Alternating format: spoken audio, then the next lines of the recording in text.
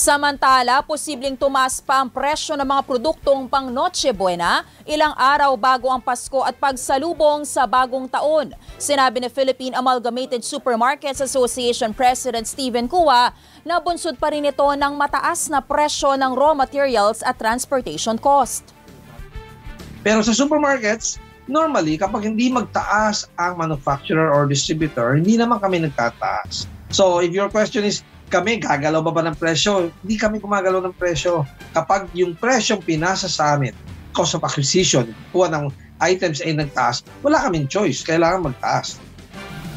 Samantala, binatikos ng ilang netizens ang inilabas na budget tip ng Department of Trade and Industry para sa Noche Buena. Ito ay matapos ihayag ng DTI na kasya ang isang libong piso para sa tradisyonal na Noche Buena ng isang pamilya na may apat hanggang limang miyembro. Nauna nang inilabas ang Noche Buena Price Guide noong Nobyembre kung saan tumaas ng 10 hanggang halos 30% ang ilang produkto tulad ng pasta, keso de bola at ham.